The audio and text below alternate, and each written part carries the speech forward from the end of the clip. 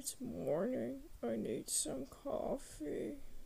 I have my big beard and I need some coffee. I need coffee. I need coffee because I'm a grown man and I'm so fat and I am fat and I need coffee. And this is my coffee mug. It says liar on my coffee mug. So, Mr. Anderson, you need some coffee today because it's morning?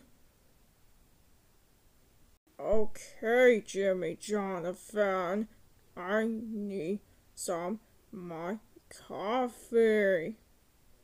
Mr. Anderson, you have your big beard? Yes, Jimmy Jonathan, I have my big beard because I don't shave my big beard. So, Mr. Anderson, what are you born on? June 4th, 1982. How old are you?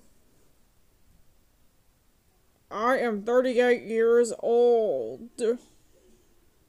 I will be 39 years old on Friday, June 4th, because I'm a grown man and I am fat.